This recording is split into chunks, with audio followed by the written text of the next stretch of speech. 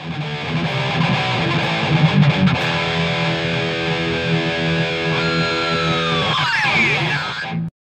everyone, this is Bobby from bn-games.com and welcome to part two of my childhood PC restore. Um, in part one, we discussed a little bit about this computer and um, unboxed this particular monitor and tested it for the first time and we were successful.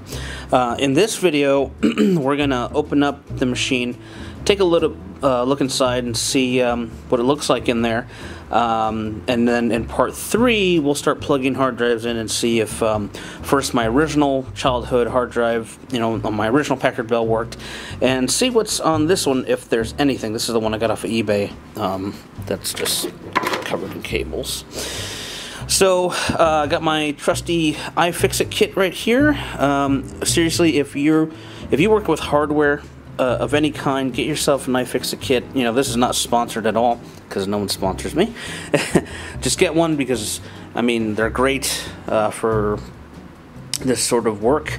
So uh, we're going to get the monitor off here, open up the shroud, and take a look inside. So first thing I'm to do is make sure to unplug everything, um, get unplug the keyboard. I'm still waiting for a mouse to come in. Turns out I don't have a PS2 mouse that's reliable.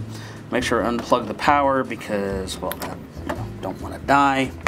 And uh, in the first video, I had mentioned that the VGA cord had been damaged. I'm going to show you that here now, see if you pick it up on camera.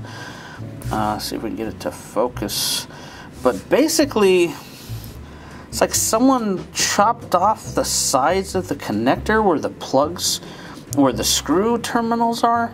So on the right here is what a normal VGA cable would look like, and you can see it has these screws to keep the connector firmly plugged into the computer.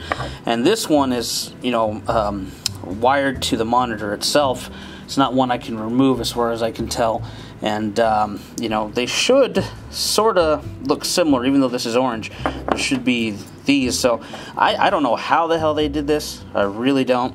It's not a big deal because it works, and you know I'm not moving the computer around a lot, so not a big deal. But I think I would show it. I know I had, like I said, mentioned it. Um, in fact, I'm not sure why.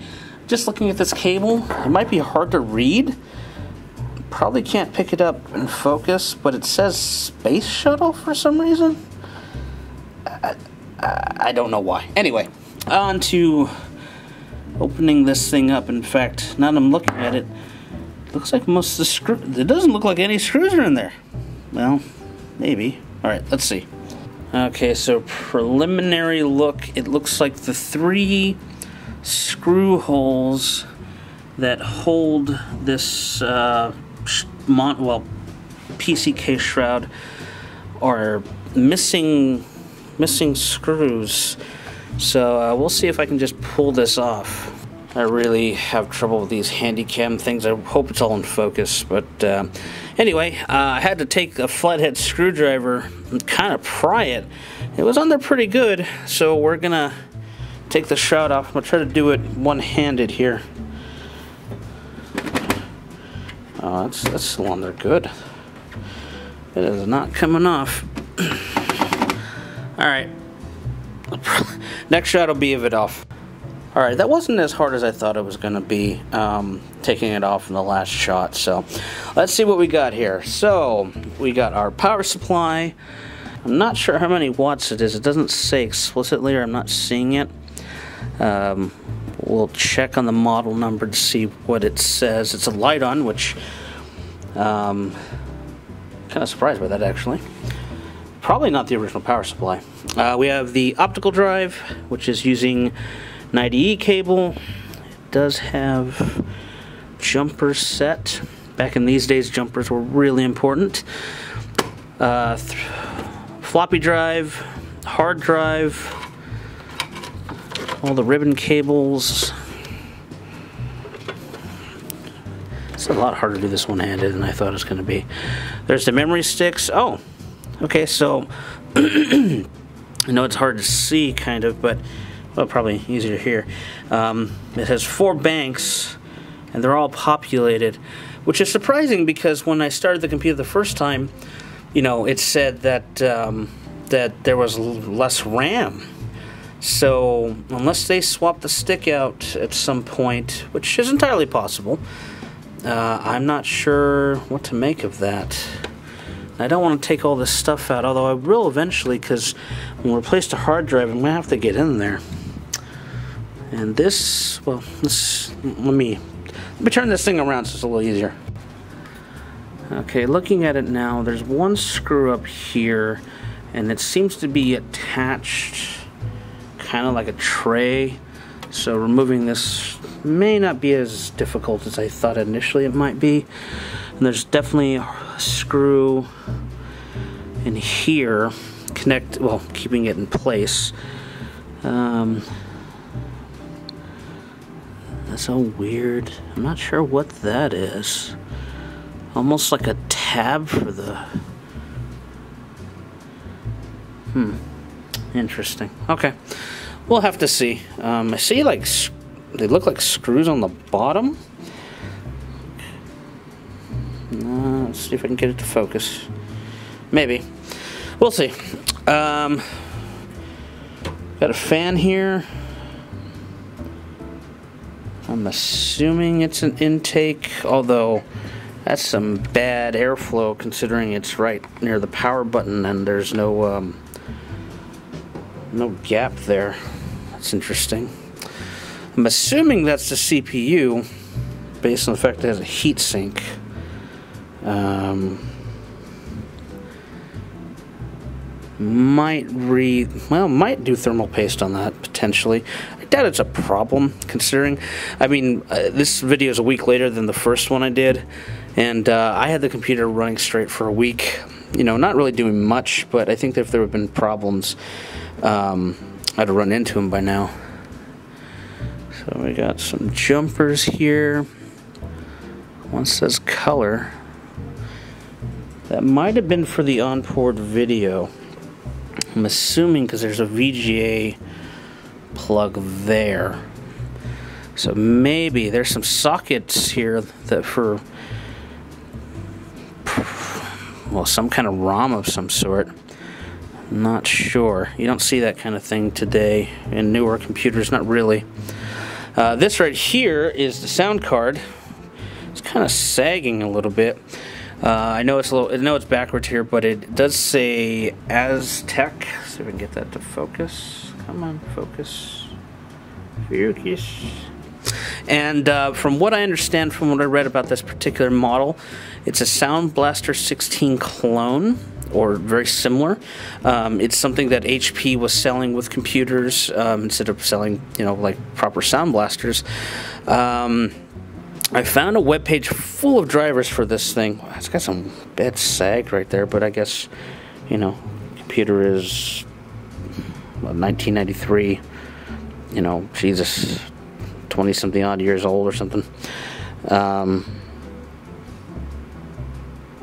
I'm not even sure if it works. I haven't even tried it in uh, with the Windows 95 installation that's in here. But um, I know this is a sound card.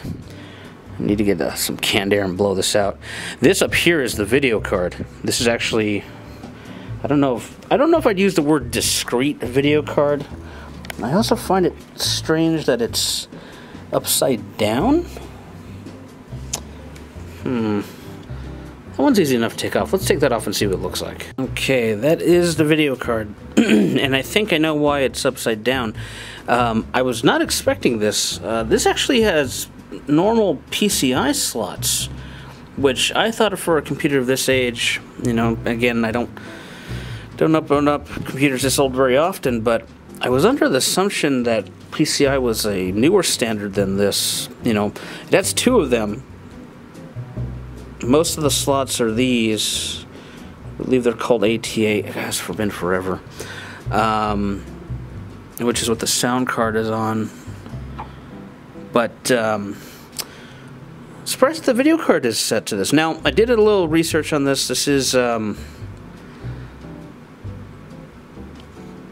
okay, I'm reading in my notes here. It is a S3 Trio 64V Plus um, which I guess was uh, semi-respectable in 1993. Um, I, well, this one says 1995. Well, I mean, around that time frame. I mean, it's no Voodoo card, and I probably wouldn't put a Voodoo card in here because, you know, probably would put that in something nicer, faster. Since this machine is really just kind of a re recreation of my childhood computer, and I might do some DOS stuff with it. Um, I primarily just want it to be there as an experience. You know, I, I, it's a retro thing. You know, I'm, I'm not going to be doing a lot of gaming on it. I'm probably going to stick with this as long as it works with Windows 3.1. Um, I'm pretty sure probably will. If not, you know, uh, video cards of this era, super cheap to get. My only problem is finding the drivers that work for them. Uh, same with the sound card. Although since this is a sound card based on my research, should have probably came with this particular computer. Um, I'm probably probably not going to replace that unless I actually have an issue. But um, yeah, so video card, sound card. The PCI wasn't expecting that. It's not PCI Express. PCI Express is a completely different thing. This is old school PCI. Uh, most computers I worked with and messed around with um, after this particular machine um, had PCI as their, as their standard port, and then AGP was the video card port, you know, for the most part. Um, oh, one other interesting thing. This is the processor. I mean, I knew it before, but it might be really hard to see here, but there's a label here, label here. It says Pentium TM processor. So it's definitely the processor. Um, I don't want to take that out right now because I actually don't have any thermal paste to put on there. I'm not even sure these use thermal paste. Oh man, a lot of this old stuff, uh, really, really old stuff. Not sure. I, I, would know. I mean, if I picked up, you know, if I took this heat sink off and I saw the paste on the bottom, I'd know it needs thermal paste. But considering this is only 60 megahertz. Uh, very, very unlikely as far as I as far as I can tell. We'll find out. But by part three, I'll know. Uh, some of this is a bit of a relearning experience. I mean, I knew I messed with a lot of this type of hardware years ago, but I mean, it's been uh, over a decade since I've actually opened up something this old, really, and try to mess with it.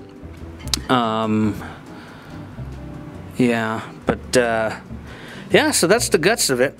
I mean, not much more to say about it until we. Uh, you know change the hard drive out. So again, in part three, the first thing I'm going to do is I'm going to plug in, and we'll probably take keep the shroud off and just uh, unplug the connectors and plug in the hard drive that way. I'm not going to go through the whole process of trying to you know mount the drive. Um, but we'll plug in the one I got from eBay, see if I get anything off of it. I mean, I'm not expecting much, but we'll see. You know, um, knowing my luck, it probably has something like Windows 98 on it, if it has anything at all.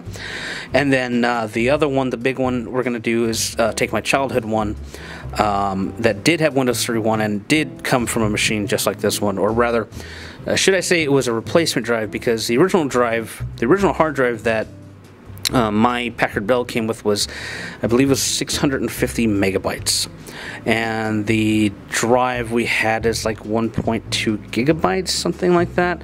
I remember my father very specifically saying, "Oh, we'll never fill that. It's you know tons of space."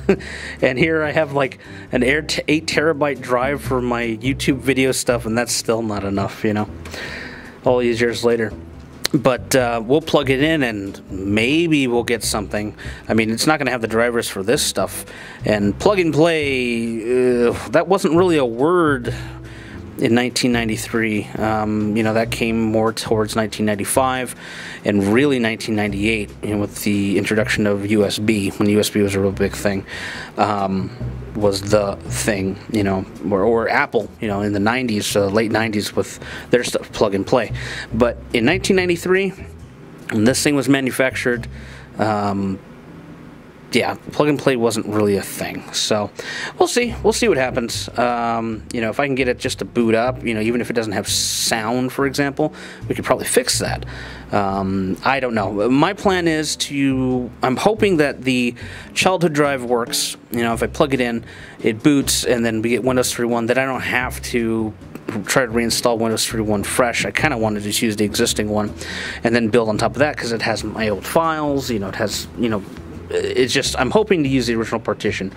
Um, if that doesn't work, then the hard drive I bought off of eBay, which we're going to test first, like I said, we'll wipe that and then you know attempt to do the install. I still have to get a copy of Windows 3.1 Anyway, I have to get the um, the floppy disk version, not the five inch floppy, because this doesn't have a five inch floppy, and I see a lot of those. Uh, so we're gonna have to get that, you know, get that going, or uh, make some discs, uh, which is entirely possible. Also, first thing I'm gonna do actually before I close this thing up, at least for this video, is I'm gonna take an air can and try to blow it out some. So uh, part three, hard drives. We're gonna see if uh, things boot. You know, go from that point and uh, see where we go from there. And hopefully by then I'll have a mouse to um, navigate. Um, my the plan for part four is to plug in my VGA to my capture device and at least record what's on the Windows 95 partition and then if Windows 3.1 works, we'll do that with that as well. So these are all kind of things. And part of the reason I'm doing this in so many parts is because I'm recording this during my lunch hour, you know, in my lab. So I don't have a lot of time. And when we get to the point where I'm recording the actual OS stuff, I'm probably going to do this at home in the arcade, um, you know, instead of here in the lab at the office. So, anyway, I know I'm rambling a little bit, but those are the plans. This is what it looks like inside of this old Packard Bell. Um, please comment, rate, all that stuff, you know, if you want to. It uh, helps me want to keep doing these sorts of videos. And uh, if you have any comments, or if you have any suggestions, rather, uh, I'll take those as well. Um, if you have a copy of Windows 3.1, a complete box copy you want to sell me, I'd be interested as well because I'd like to use the original discs if possible. So, yep, we'll uh, get this back into the PCI port, air it out, and uh, button it up for now. But that's the end of this video. Like I said, uh, put all this stuff below. I know I'm rambling. I'll see you in the next one. Thank you.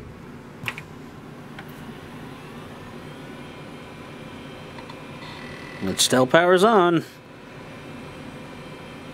Kind of miss when computers still made noise when they were quote unquote thinking.